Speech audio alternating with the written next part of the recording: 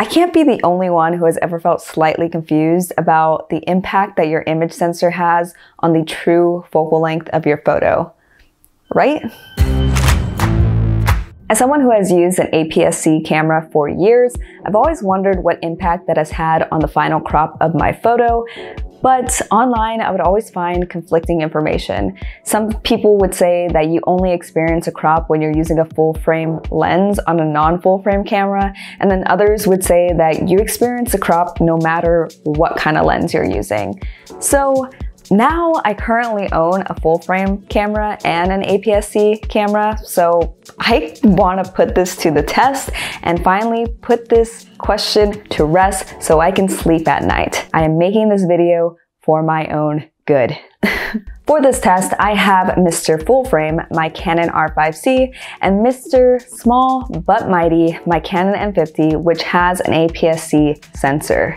By the way, if you're at all curious as to how this $500 camera compares to this $5,000 camera in other ways, then hit that subscribe button because I have a lot of videos coming up comparing the two, and my next one will be comparing photo quality.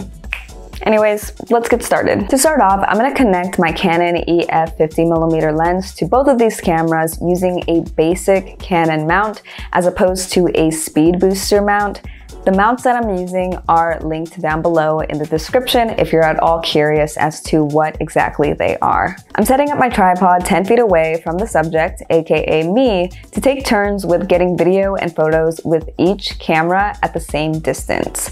Rumor has it Mr. Small but Mighty should crop in a lot more than Mr. Full Frame since the EF 50mm lens is a full frame lens. And story checks out. Here is some video.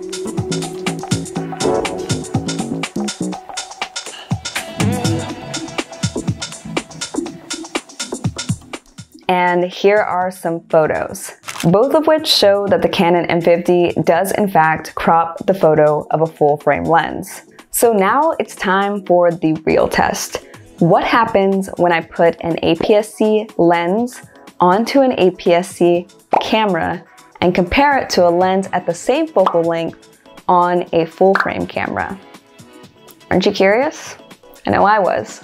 So for this test, I'm gonna put my RF 16mm lens on my Canon R5C and my Sigma EFM 16mm lens on my Canon M50.